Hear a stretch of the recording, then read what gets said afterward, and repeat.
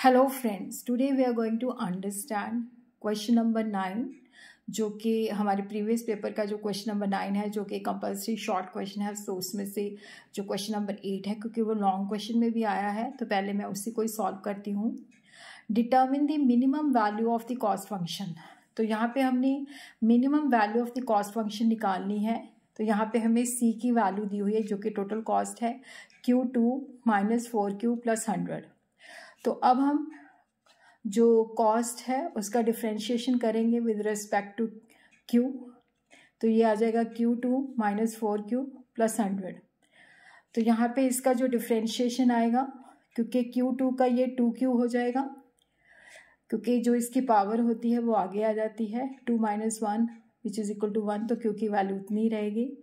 Minus four Q जो है, वो वन माइनस वन ज़ीरो हो जाएगा तो वो वन क्यू ज़ीरो की वैल्यू वन है तो यहाँ पे आ जाएगा टू क्यू माइनस फोर।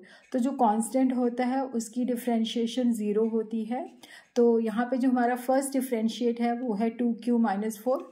तो यहाँ पे हम इसको ज़ीरो के इक्वल पुट कर देते हैं। वहाँ पे हम जो है क्यू की वैल्यू निकाल लेते हैं। Two Q minus four is equal to zero. तो हमने पूरी इक्वेशन को टू से डिवाइड कर दिया तो Q is equal to two.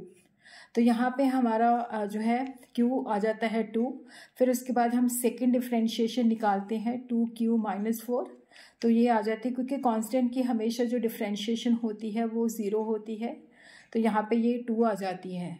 तो यहाँ पे हम देखते हैं कि हमारा जो है, ये जो टू वैल्यू हुई है, ये पॉजिटिव है साइन चेंज नहीं हुआ, ये मोर देन ज़ीरो है तो ये मिनिमम वैल्यू है, क्योंकि अगर पॉजिटिव से ना माइनस हो जाता है तो वो मैक्सिमम वैल्यू होती है तो ये चेंज नहीं हुआ। हमारा जो टू है, वो पॉजिटिव है और ये ज़ीरो से ज़्यादा है तो इट मीन्स कि ये मिनिमम वैल्यू है।